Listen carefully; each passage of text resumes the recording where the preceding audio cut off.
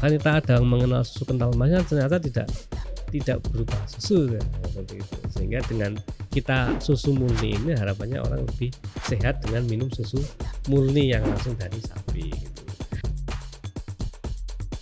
Eh, pangan bukan hanya sebuah kebutuhan pokok, pangan sudah menjadi sebuah industri yang sangat kaya, yang sangat kompleks, yang sangat bervariasi.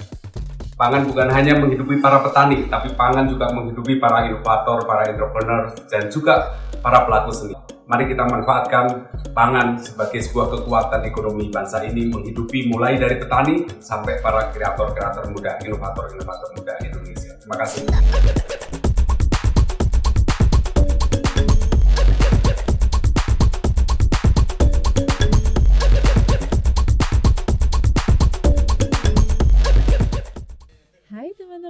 Kembali lagi di Foodcast for Bill Food Podcast. Tentunya hari ini kita sudah kedatangan sosok inspiratif dari pengelola susu HD. Ini adalah Bapak Yusuf Agustian. Betul Iya, ya Pak ya? Iya, betul. Apa kabar Bapak Yusuf? Baik, alhamdulillah. Baik, alhamdulillah. Nah, teman-teman mungkin belum kenal nih, susu hadi itu bergerak di bidang apa, begitu ya Pak ya. Untuk itu kita akan ngobrol langsung dengan Bapak Yusuf mengenai susu hadi. Pak, mungkin boleh diceritakan sedikit nih, Iya. susu hadi itu bergerak di bidang apa dan produknya apa saja iya. Pak? Ya, terima kasih, Mbak. Sebenarnya susu hadi ini berawal dari keinginan kita untuk membantu peternak. Jadi sebagaimana di lereng Merapi itu kan dengan ekonomi yang minus, akhirnya muncul sebuah koperasi. Koperasi itu mereka merekrut mengajarkan kepada para warga itu bagaimana berternak sapi perah. Sejak itu mulai sekitar tahun 90-an lah itu. Di lereng Merapi itu mulai pada peternak mulai peta, warga itu mulai belajar berternak sehingga berternak sehingga sampai akhirnya sampai sekarang pun sana menjadi sentra susu lebih lebih ada susu segar. Tapi dalam perjalanannya karena susu segar ini dijual kepada industri sehingga secara harga kita tidak bisa tawar harga. Karena memang dari industri beli segini harus dibayar segitu mau tidak mau dengan harga seperti itu. Maka dengan melihat keadaan itu kita dari kooperasi berkeinginan untuk membantu masyarakat supaya harganya lebih tinggi lagi. Akhirnya kita membuat brand baru produk baru yang nanti bisa kita pasarkan sehingga harganya lebih agak mahal dari yang masuk ke industri itu ceritanya Oke, Pak, kalau melihat Iya. susu nih Pak di Iya. Indonesia nih penjualan susu. Iya. Menurut Bapak seperti apa potensi penjualan susu sapi nih Pak, terutama Oh, di iya. Jogja atau di Indonesia sendiri? Ini kebetulan kami baru dua hari yang lalu ketemu dengan dirjen peternakan ya di Jogja itu itu 80% di Indonesia itu masih impor susu Hmm. dari setelah dari PT-PT yang seperti Nestle seperti Indofood, Indo bahkan semua itu mayoritas masih impor semua dan 20% itu baru bisa dipenuhi oleh Indonesia. Maka sebenarnya potensinya masih besar sekali. Bahkan kita ini dengan produksi per hari 8 ton, 8.000 liter susu per hari di koperasi itu itu saja untuk ketika masuk ke Nestle atau Ultrasea itu berapapun akan diminta, diterima, bahkan sampai 10 kali lipat pun diterima semuanya. Potensinya masih besar sekali karena ketika impor itu datanya dari Cina dan kita kan nggak tahu proses seperti apa. Dan dari kemarin kita ketemu dengan Dirjen itu juga mereka menyampaikan bahwa keinginan mereka untuk swasembada susu tapi dengan target 10 tahun lagi. Tapi itu kan masih lama lagi. Tapi kita itu berbicara makro ya. Hmm. Tapi kalau kita bicara mikro di lereng Merapi sebenarnya kan kita bicara bagaimana masyarakatnya itu ekonominya meningkat. Gitu ya. Dengan susu ini kan seperti cita-cita kita seperti itu sebenarnya. Kita kalau berbicara makro kan berbicara sampai ke Indonesia tapi kita mikro dulu aja ke di lereng Merapi ini. Sehingga kita berinisiatif untuk membuat sebuah produk baru yang namanya susu hati Jogja ini gitu. Gitu. Artinya demand dari masyarakat itu sebenarnya tinggi juga ya Pak Tinggi ya? sekali Pak itu. Tinggi sekali. Itu. Lalu bagaimana Pak melihat potensi produk susu nih Pak? Misalnya pengolahan kan tidak hanya menjadi susu Hmm. Iya. gitu, ada produk-produk lain seperti yogurt, Siap. kemudian keju Iya. gitu. Itu seperti apa itu kita lihat masih bagus sekali. Seperti di kita menggunakan produk olahan susu ini susu pasteurisasi kita. Mhm. Ini saja kita masarkan kan karena sebenarnya faktor komunikasi aja. Jadi adanya permintaan itu karena mereka nggak tahu di mana belinya susu. Karena tahunya susu itu tidak di Yogyakarta. Bahkan mungkin ketika saya tanya mahasiswa mungkin dengan yang muda-muda ini nggak tahu kalau di lereng Merapi itu ada sapi perah mungkin.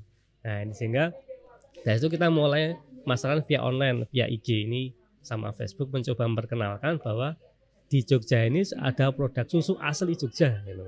Maka namanya Hadi Jogja. Nah, itu. Jadi Oh, iya. seperti itu bahwa Hadi itu filosofinya dari Jawa, gitu. Jogja itu dari Jogja gitu. Ceritaan seperti itu. Baik, luar biasa ya Pak ya. Ini Iya. sudah berdiri sejak kapan ini Pak? Kalau kooperasinya itu sejak tahun 94 kita mulai masukkan merek nama susu Hadi ini mulai di tahun 2000 2000 2009 mulai ada merek susu Hadi tapi kita mulai produksi dan masarkan via online itu setelah corona ini Wan.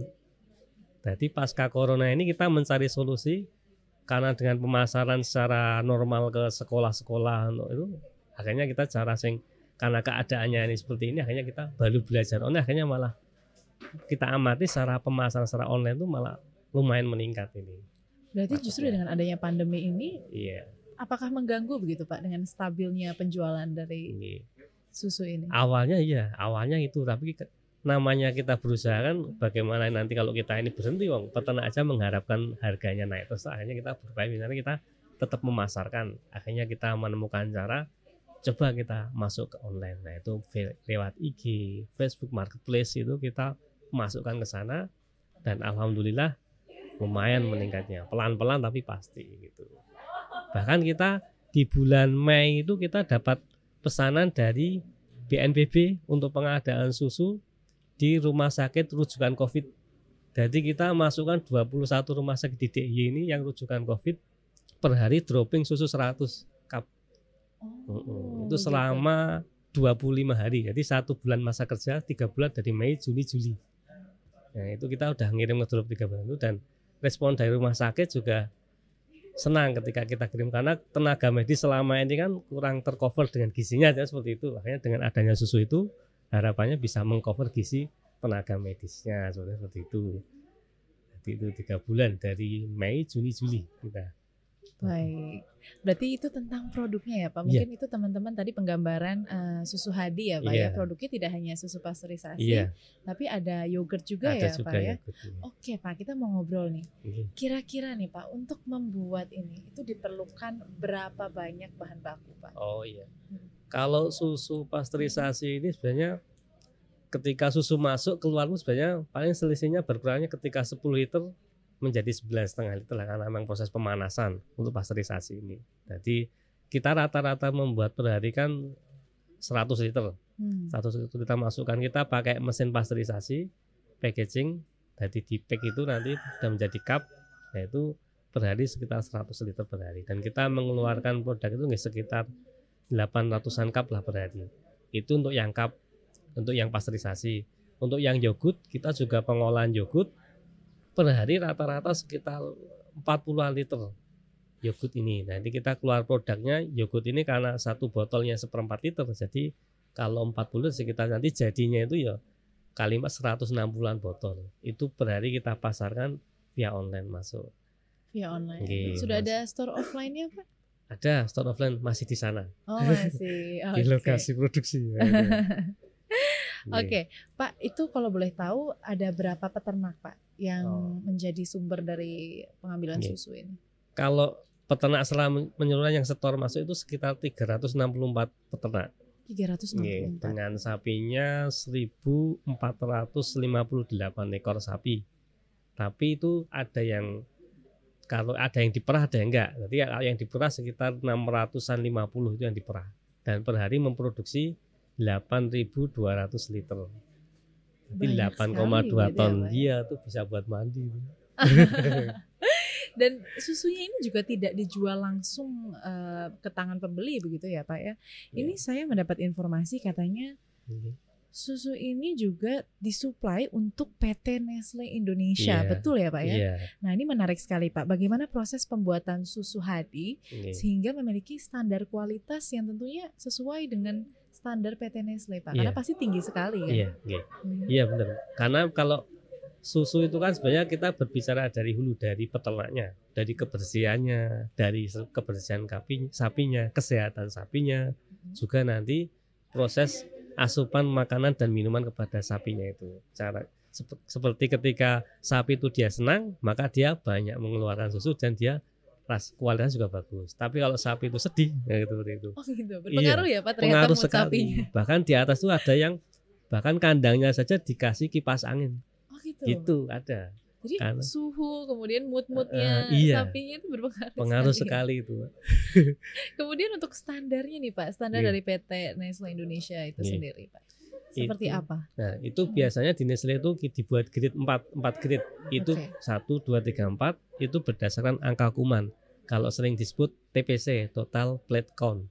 Oke. Jadi atau bahasa Indonesia itu ALT. Angka angka luas angka ukuran kuman lah seperti itu. Tapi Oke. kita sering menyebutnya TPC gitu ya. Nah, itu kan Mm.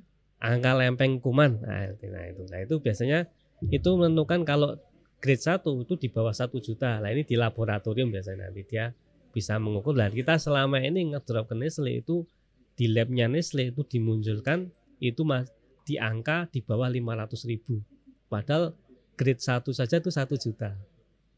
Nah, itu berarti itu kualitasnya di situ. Sehingga Nestle senang dan kandungan lemaknya atau fatnya itu atau total solidnya kita di atas 12 bahasanya bahasa labnya seperti itu 12 persen gitu total solidnya seperti itu itu menjadi acuan dari Nestle untuk akhirnya mengambil produk kita susu kita seperti itu Oke, berarti dari proses pembuatannya itu sendiri sudah ada quality controlnya ya Pak ya? Sudah Ada, dicek kita. dari awal iya sampai eh, kemudian didistribusikan ke pelanggan atau disuplai ke PT Nestle Iya. begitu ya.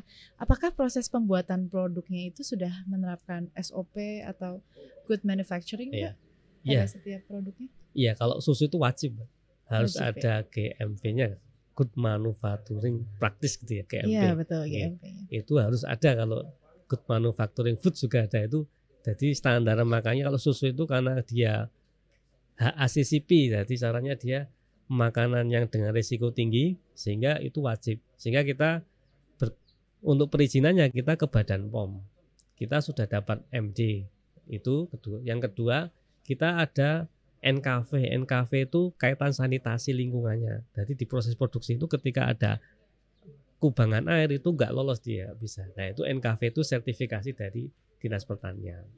Cahaya juga kurang terang itu nggak boleh seperti itu. Jadi harus cahaya standar karena itu kaitan dengan kumannya itu terhadap susu. Itu ada sertifikasi NKV dan juga karena kita menggunakan merek susu hadi kita juga ada hak merek juga.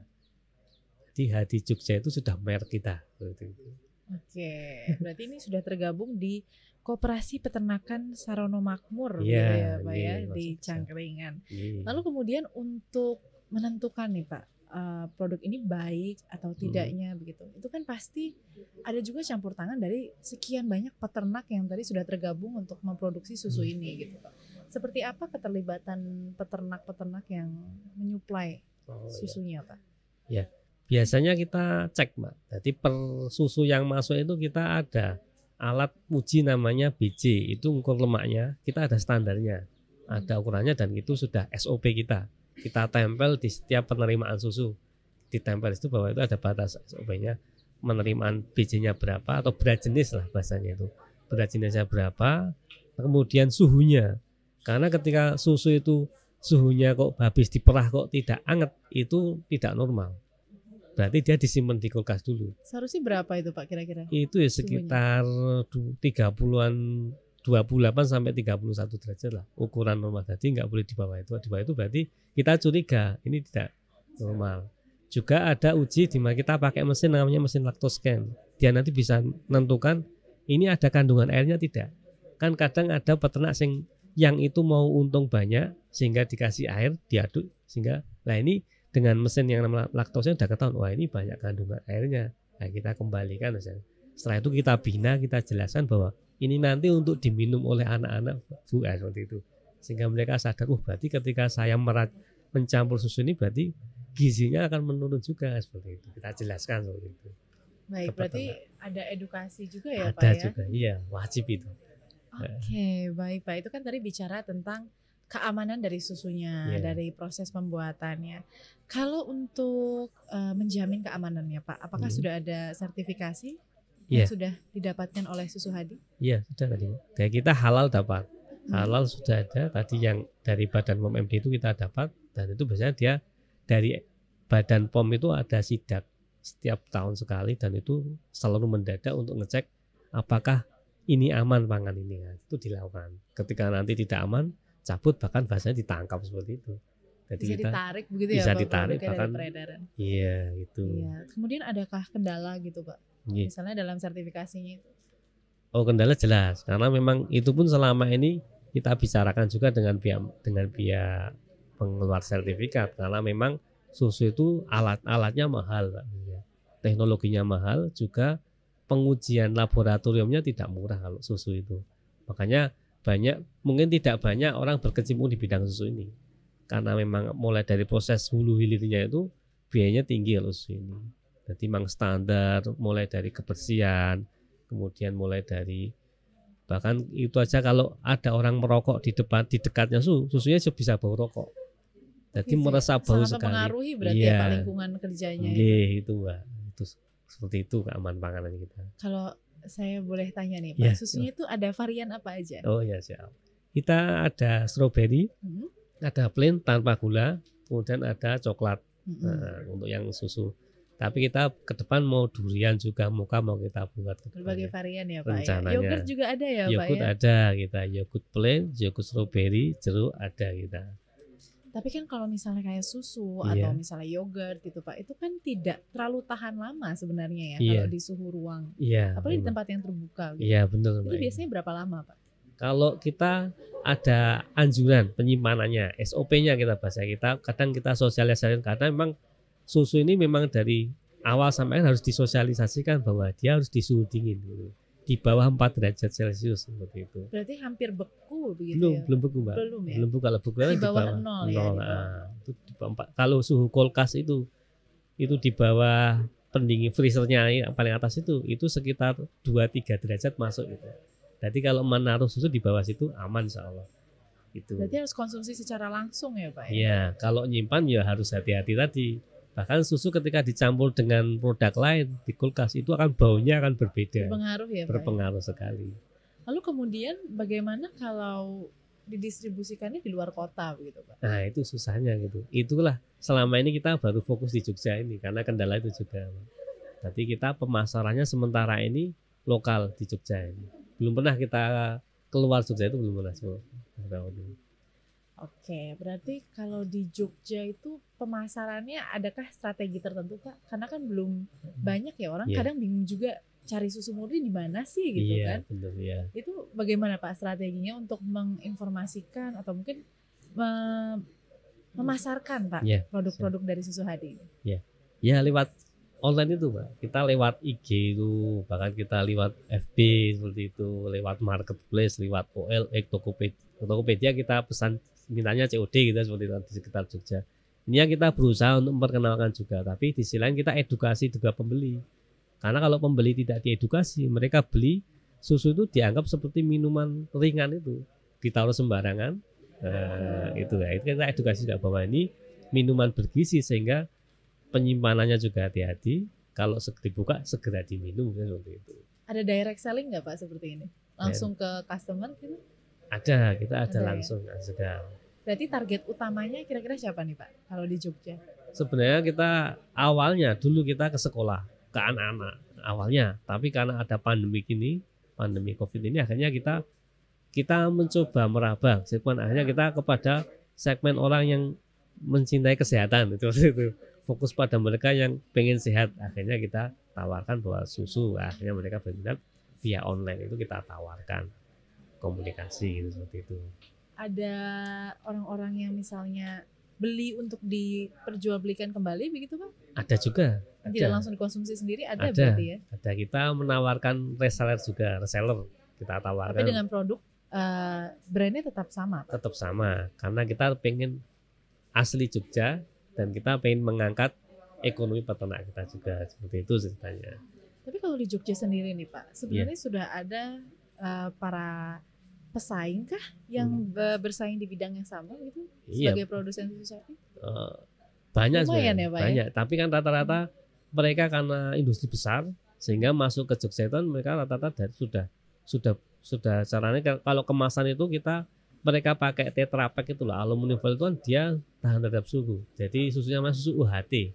Prosesnya UHT ini dia modalnya besar, industri besar yang bisa seperti itu. Nah, mungkin Ah. boleh dijelaskan sedikit nih Pak sama teman-teman kita Iya. perbedaan susu UHT dengan Pasteurisasi. Oh, iya, gitu. siap. Itu kan sering dipertanyakan Iya, ya Pak ya. iya. Karena kan kalau kita belanja nih Pak di Iya. swalayan, Iya, ada yang susu pasteurisasi, Iya. ada susu UHT. iya. Mungkin boleh dijelaskan prosesnya Pak atau mungkin ketahanannya Pak Iya. gitu. Kalau di pasteurisasi, dia itu kan proses suhunya itu kan pengolahannya, dia itu dengan suhu di 70 derajat dipanasinya dengan waktu yang cepat, tapi 70 derajat sehingga sebentar langsung dia langsung dipanasi sebentar. Tapi kalau yang UHT itu di atas lagi, sekitar 80-an derajat. Tapi dia lebih lebih cepat lagi, lebih panas, lebih cepat sehingga sebenarnya kalau kita amati antara UHT itu lebih banyak kuman yang terbunuh di UHT padahal susu itu ada bakteri baiknya. Bakteri baik. Nah, betul. itu. Sebenarnya ada dipertahankan ya Pak ya. Ya itu. Di sisi lain mereka kan butuh untuk usia yang panjang sehingga UHT itu risikonya bakterinya berkurang tapi barangnya lebih awet ya. Kalau UHT, kalau pasteurisasi bakterinya terjaga tapi usianya tidak Tidak lama, lama. gitu Oke, ceritanya. berarti ini memang harus dikonsumsi secara langsung ya Pak ya. Iya gitu. Oke Pak, mungkin kita kembali ke tadi bagaimana bersaing dengan eh, kompetitor begitu Pak.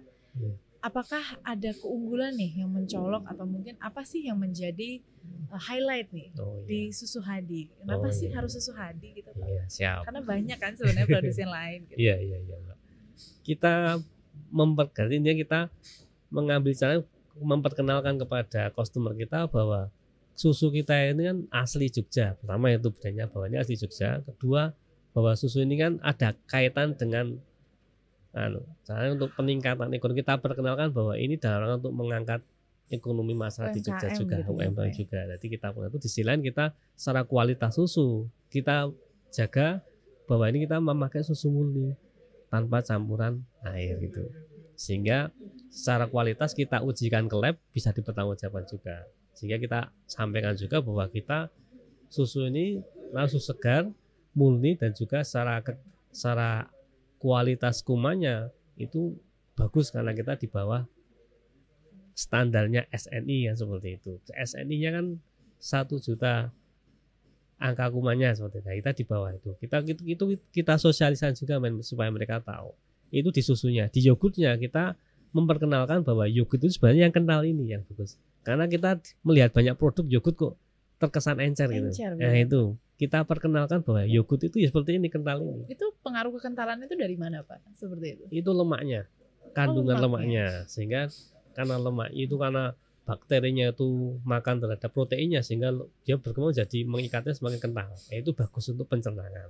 Kalau yang encer itu karena dia dipisah antara lemak dan sehingga nanti kandungan yang di dalam susu ini sehingga ketika eh dalam yogurt ini ini ya saya belum tahu sejauh mana ya tapi kok saya juga merasa kok yogurt kok encer gitu seperti itu. Berarti ada seperti susu ya Pak, ada Iya. penilaiannya juga ya dibagi-bagi seperti itu. Ada, iya. Dari tingkat kekentalan Iya, gitu. iya. ada seleksinya begitu ya. Pak yang baik dengan yang Iya. tidak. bahkan pelabelannya di di badan pom itu kan nanti ketika memasang nama itu kan kalau angel dikatakan minuman yogurt Eh, eh, kalau nanti dia kental di bawah ini ada ukurannya itu dia dikatakan yogurt gitu nah, Oh, gitu ceritanya Oke, ini menarik sekali ya Pak ya Iya. berarti sebenarnya tentang usaha uh, produk-produk dari susu Iya. gitu Pak. Mungkin kalau teman-teman yang mau bergelut di bidang yang sama nih Pak, mau terjun di bidang peternakan seperti ini, mungkin boleh uh, diceritakan sedikit Pak mengenai modal utamanya atau Hmm. apa saja sih yang harus dipersiapkan sebelum memulai bisnis peternakan nih Pak, terutama Oh. di bidang peternakan menghasilkan susu. oh gitu. Kalau peternakan itu kan karena terkait dengan hewan Mbak. Iya. itu kan harus bertangan dingin lah saya seperti itu. Dan dia harus telaten juga. Itu harus pagi merah. Dia perah dua kali sapi itu. Pagi jam setengah lima sore jam setengah empat. Itu dua kali perah. Nah ini dia ketika merawat sapi ini bagaimana sapi itu juga dia sapi itu bunting nanti dia beranak juga atau ngerawat anaknya sapinya ini Betul. ya seperti ngerawat saudara gitu Berarti ini tuh sebenarnya butuh hal-hal yang konsisten begitu ya Iya, Pak ya. kalau sap- Konsisten, telaten begitu. kalau peternakannya Kemudian seperti apa Pak? Misalnya modalnya selain uh, peternakan begitu, apakah harus ada urus-urusan perizinan atau hal-hal lain yang memang okay. mungkin krusial untuk di untuk dibahas begitu Pak sebelum yeah. mulai? Kalau di peternak sebenarnya nggak nggak begitu sulit karena memang selama ada tempat lahan sama rumput itu kan bisa. Ah susahnya ketika orang mau mencoba masarkan susu ini, ini kesulitan di situ karena perizinannya saya amat saya merasakan sendiri memproses itu memang tidak mudah untuk susu ini. Tapi kalau berkecimpung di bidang peternakannya ini sebenarnya tergantung lahan sama kesungguhannya. Tapi kalau di bidang pemasaran susunya ini terkait dengan banyak pihak karena ini berkaitan dengan kualitas keamanan pangan kan ini. Jadi bagaimana kualitasnya sertifikasi ini yang proses yang agak lama dan sulit. Saya aja sertifikasi turun itu pom itu satu tahun mbak. Satu tahun, hmm. menunggu lumayan lama ya pak ya. Lama. Ya. Kemudian untuk usahanya supaya terus maju kan tentunya butuh modal juga yes, gitu ya pak. Bagaimana supaya uh, bisa ada perputaran gitu pak di bisnis ini? Uh, Iya dengan kan, dengan kita menjual itu semaksimal menjual. Ada target begitu pak? Maksudnya per tahunnya kah harus menjual berapa? Atau mungkin ada target-target tahunan yang harus dicapai oh. begitu? Enggak sih sebenarnya. Kalau dulu kita ada, tapi karena kondisi pandemi ini akhirnya kita lebih kepada ini bagaimana meningkatkan omset dulu keluar keluar keluar seperti itu. Maka kita buka sebenarnya kita membuka restoran sebanyak banyaknya untuk mereka berkeinginan menjual lagi kita tawarkan. Jadi produk susu ini kita lebih karena sekarang ini juga berkeinginan untuk bagaimana masyarakat juga sehat dengan susu. Karena peminum susu di Indonesia ini kan kalah dari India. Maka banyak di India itu sekarang ini itu kan dulu kalau dulu ada cerita revolusi putih di India itu kan hasilnya sekarang ini seperti CEO-nya Google itu kan orang India. Turunan iya, India iya, Iya, karena memang sudah 20 tahun lalu India seperti ya, kita masih jauh sekali. Kita kadang susu aja masih lebih milih snack daripada susunya. Betul. Nah, itu ceritanya. Itu berarti harus diedukasi ya, Pak. Susu yeah. itu sehat. Ya, seperti itu. ya. Nah, kalau misalnya inovasi nih, Pak, misalnya pengembangan mungkin kalau tadi kan banyak yang nggak doyan nih kayaknya kalau yeah. susunya dalam bentuk uh, minuman yeah. gitu atau mungkin nggak suka yogurt.